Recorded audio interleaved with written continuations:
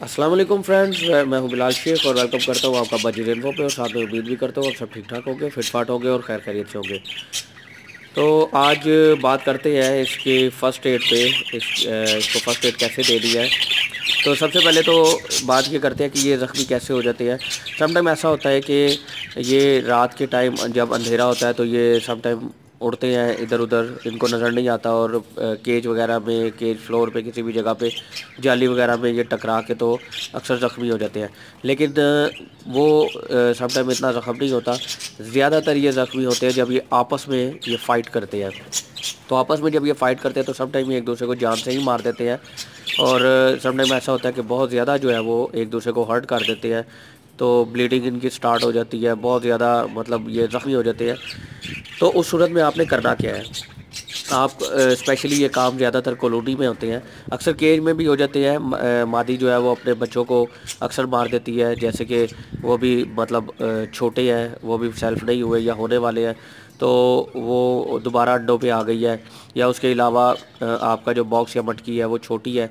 तो उस सूरत में भी अक्सर ऐसा होता है कि वो मादी जो है अपने बच्चों को मारती है। तो मतलब कोई भी सूरत हाल हो इन दी एंड बात यह है कि अगर वो ज़ख्मी हो जाता है, ठीक है, किसी भी वजह से तो सबसे पहले तो आपने ये देखना है कि उसका सिर्फ़ ज़ख्म है या उसकी ब्लीडिंग हो रही है।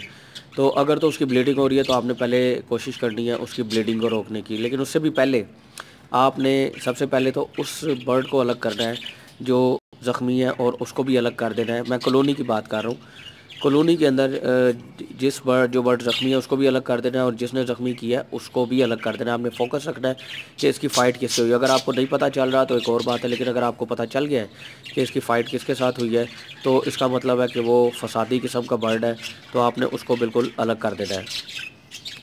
तो ये ज़्यादातर लड़ाई बजरीज में अक्सर हो जाती है, ऑस्ट्रेलियन पैरट्स में। तो इनका बड़ा प्रॉब्लम अक्सर हो जाता है, बहुत ज़्यादा ब्लीडिंग हो जाती है। तो उसको आपने अलग कर देना, जैसा कि कल की वीडियो में मैंने आपको बताया था कि आपके पास एक अलहदा से हॉस्पिटल केज होना चाहिए, जिसमें आप उसको रख दें, ताकि वो बिल्कुल अकेला आप उसका ट्रीटमेंट कर सकें। तो जिससे फ़ाइट हुई है, जिसने मारा है, उसको अलग करना इसलिए ज़रूरी है, क्योंकि आज अगर इसने इसको मारा है तो कल किसी और को भी वो मार सकता है, या किसी के अंडे तोड़ सकता है, या बच्चे मार सकता है। ज़्यादातर ये केसेस मादियों में देखने में आए हैं, ये फीमेल इस तरह की हरकतें करती हैं। तो उसको अलग करने के बाद अगर तो उसको ब्लीडिंग हो रही है तो आपने ब्लीडिंग वाली जगह पे कॉटन रखनी है थोड़ी देर, जो रुई होती है, उसको थोड़ी देर रखना है, इतनी देर के वो ब्लीडिंग रुक जाए। और अगर ब्लीडिंग नहीं हो रही तो इसकी ज़रूरत नहीं है। उसके बाद आपने क्या करना है डेटॉल लेना है, और डेटॉल से उसको आपने उसके ज़ख्म को पहले उस पर मतलब रुई पे लगा के हल्का हल्का आप उसको साफ़ कर लें। डेटॉल से साफ़ करने के बाद आपने क्या करना है कि उस पर आपने पायोडीन लगा देनी है, ठीक है जी? पायोडीन आपको किसी भी मेडिकल स्टोर से मिल जाएगी। ये रेड कलर की एक दवाई होती है। ये आपको किसी भी मेडिकल स्टोर से इजीली मिल जाएगी। तो रकम को अच्छी तरह साफ़ करने के बाद आपने उस पर पायोडीन लगा देनी है।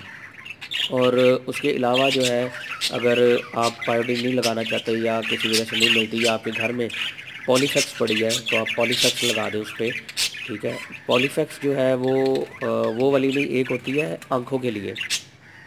वो आपने नहीं लगानी, जो ज़ख़म के लिए होती है, वो आपने पूछ लेना है मेडिकल स्टोर से। ज़ख़म वाली आपने लगानी है तो उससे वो आप लगा के तो उसके ऊपर हल्की सी कॉटन रख दें या अगर कॉटन नहीं रख सकते तो ऐसे ही उसको छोड़ दें और उसको दो या तीन दिन उसको डेली जो है वो लगाएँ इन ज़ख़म जो है वो आपका ठीक हो जाएगा। तो इस तरह से आपने जो है वो फ़र्स्ट एड देनी है अपने बर्ड्स को। तो ये कोई भी बर्ड ज़ख्मी हो जाए, जैसे कि वो कॉकटेल है लव बर्ड है या ये ऑस्ट्रेलियन पैरट्स हैं बजरीज हैं मतलब ये इनका सेम इलाज है, अगर ये ज़ख्मी हो जाए तो इसी तरह से आपने इनको ट्रीट करना है। तो उम्मीद करता हूँ आप लोगों को अच्छे से समझ आ गई होगी, अगर फिर भी कुछ रह गया तो आप लोग मुझसे कमेंट्स में पूछ सकते हैं। और आखिर में फिर आप लोगों से रिक्वेस्ट करूँगा कि जिन लोगों ने मेरा चैनल अभी तक सब्सक्राइब नहीं किया, वो ज़रूर सब्सक्राइब कर लें ताकि उनको नोटिफिकेशन आते रहें। तो मिलते हैं नेक्स्ट वीडियो में, तब तक के लिए अपना बहुत ख्याल रखिएगा। अल्लाह हाफिज़।